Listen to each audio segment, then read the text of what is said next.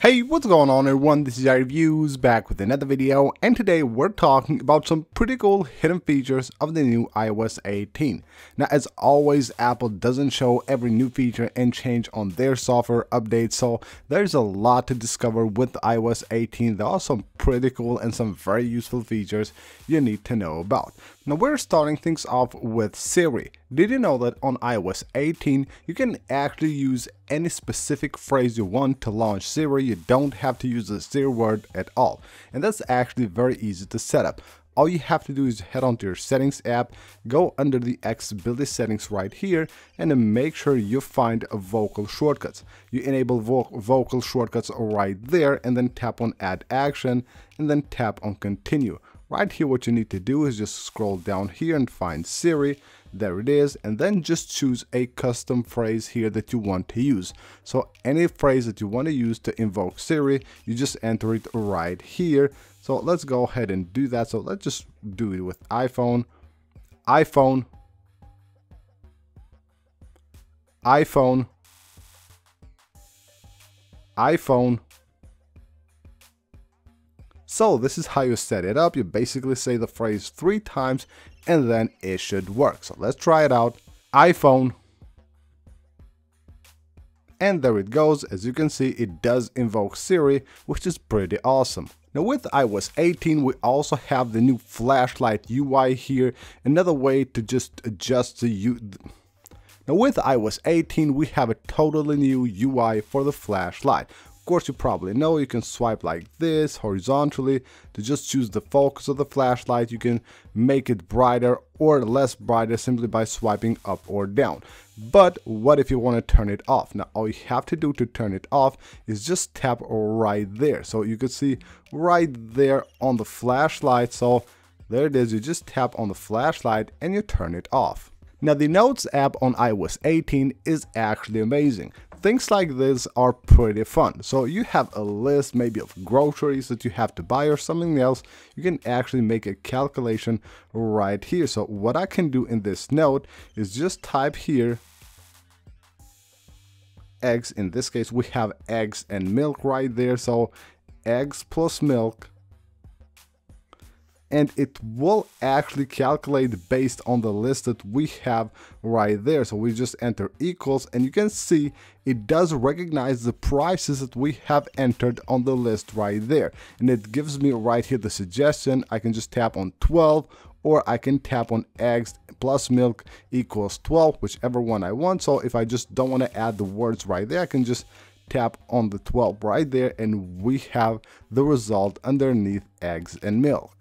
Now with iOS 18, the Notes app will gain also a few extra folders right here at the top. So if you just get out of your notes and you go to all of your folders, now you will have a dedicated section for your math notes. Now these are the notes that you take from the calculator app. And then you will also have your call recordings here for all the call recordings that you have done through the phone app on iOS 18. Now on iOS 18, you can also colorize the text on notes. So if you just want to select the text, you want to make it maybe stand out a bit, you can go ahead and go right here, of course, to the edit mode and just go ahead and colorize that text. Of course, you can adjust everything here, you can format the text, but now you will have the ability here to choose between these five different colors and just add that color to any text that you have selected.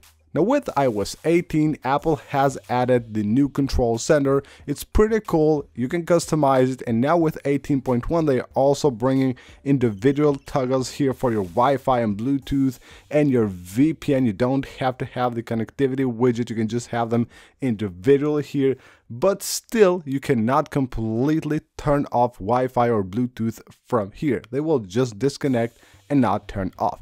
But I will show you guys a trick on how to do that head on to your Shortcuts app, tap the plus button, and right here search for Wi-Fi. Once you find it, tap on Set Wi-Fi where it says Turn, you tap right there and choose Toggle and then click Done. Now you're good to go. Now go ahead and go to your control center, tap the plus button right here and then tap on Add Control. And let's go ahead and find the shortcuts here. So that we have shortcuts, we tap on it and go ahead and just choose the one we created. So there it is, set Wi-Fi. And now this one will allow us to actually completely turn off the Wi-Fi connection. So it basically turns off Wi-Fi from here. As you can see, it's now completely turned off.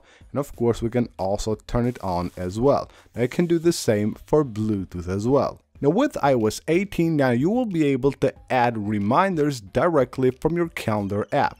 So on calendar all you have to do is just tap the plus button and right here you basically add an event previous of iOS 18 you could just add an event but now you will have the option to switch to reminder and you will have all the reminder features right here. The title the notes the date and time the repeat the list. Where you want to add it every detail is right here. So you can now have a full reminder directly on the calendar app. Now what's really cool with reminders on iOS 18 is that now Apple has added a new recently deleted folder for your reminder. So whenever you delete a reminder, maybe you do that by accident, you can just go to the recently deleted right here and you will be able to completely delete them from here or move them back to your lists of reminders. Now with iOS 18, whenever you're playing a game on your iPhone, you will see game mode turn on automatically. It is right there. Now game mode will just turn off some background activity on your iPhone so that your iPhone performs better. But you can go to your control center, you will see it right here. You can tap right there and this is the way you switch off game mode. Now here if you have a newer device, you probably don't need this. It, maybe if you have an older device and you're playing like a heavy game maybe you need it. But in this case when you're just playing like a casual game on a newer device you don't need game mode. And in my experience it has been interrupting a bit with the playback. Whenever I have something playing in the background on my device and I have game mode turned on it actually interrupts a bit. So if you want to turn it off that's the way to do it. On your control center, you can have this really nice looking widget for your music. So the small one, it's actually amazing. I think it's the best one for the music. Now it actually offers quite a different, a few different sizes. So for music, you can go from the smallest one which is basically this, this square one right here. You can go up to the biggest where you can have a full page, but this one right here just stretch it horizontally. You will get probably the best looking widget for music on iOS 18. Now on iOS 18, Apple has done a great job with keyboards. So whether you use two different languages, you can now have two different keyboards without having to switch with basically with two different languages. Or if you're translating something, you can see right here, I'm typing on English, but if I switch to Chinese right here, you can see it does switch the keyboard automatically and you don't have to add the keyboard, it will be done automatically, so that's pretty useful. On the Notes app with iOS 18, you can now attach pretty much anything you want. So you tap on the attachment right there, and besides scanning documents or text, you can now attach a file from your file apps or you can go ahead and record an audio. Now what's really cool is that if you record an audio right here, what it does is that it will actually show you also the transcription and you can see it right here but it will also save the transcription on the notes app so if we tap on done right there you can see that we have the new recording and then we have the transcription right here and whenever you need it you can go ahead and copy that to your clipboard on iOS 18, you know that you can tint the icons on the home screen.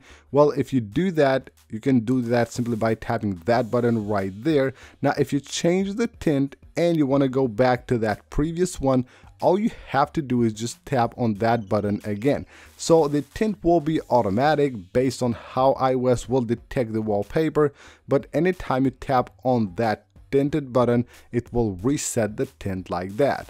On the Photos app on iOS 18, you will have here recent days. It will show you basically some albums with the recent photos from today and yesterday and things like that. Now what you can do, you can 3D touch on that album and tap on share photos. So if you just want to share all the photos from today, you can do that as easy as that.